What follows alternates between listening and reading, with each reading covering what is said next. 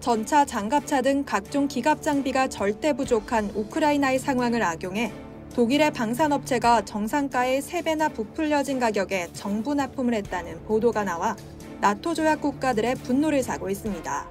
22일 Defence 24에 따르면 지난해 6월 독일은 우크라이나에 Bat UMG 장갑차와 Bandvagn 206 전지형 차량을 포함한 군사 지원 패키지를 발표했는데요. 독일 국방부는 우크라이나에 66대의 보병 전투 차량을 제공할 계획을 밝혔고 독일 라인메탈과 FFG가 해당 계약건을 따내기 위해 경쟁했습니다.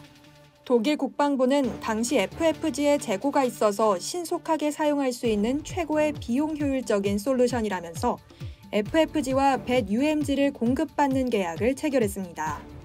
벳 UMG는 병력 수송부터 의료 후송 차량에 이르기까지 다양한 임무를 수행할 수 있는 사륜구동 다목적 차량으로 크기는 길이 6m, 너비 2.3m, 높이 2.4m입니다.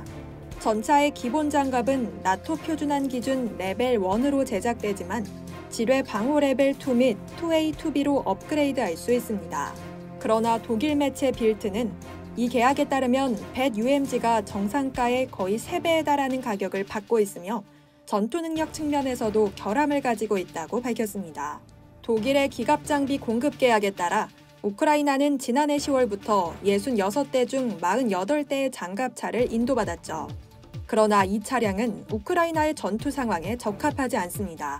독일 연방군이 사용하는 표준 보병 전투 차량과는 다르게 우크라이나에 공급된 차량은 포병, 로켓 및 박격포 공격에 대한 지뢰 및 파편 보호 능력이 떨어지는데요. 심지어 FFG는 미국 TAG사의 독일 지사에 하청 발주했습니다. 이에 미국의 여러 중개인을 통해 아랍에미리트의 TAG 공장에서 조립되어 우크라이나로 배송됐다고 합니다. 문제는 가격입니다.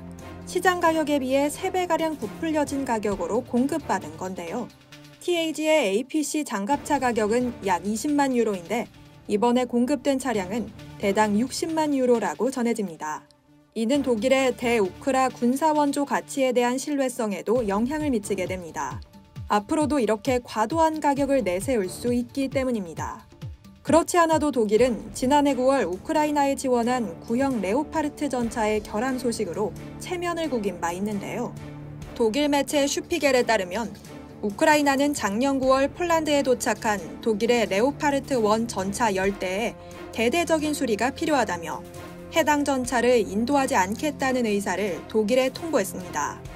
이때만 해도 이미 두 번째로 고장 문제가 발생했던 터라 말이 많았죠. 7월에도 우크라이나에 도착한 독일 레오파르트 1 전차 결함 문제를 언급한 바 있기 때문입니다.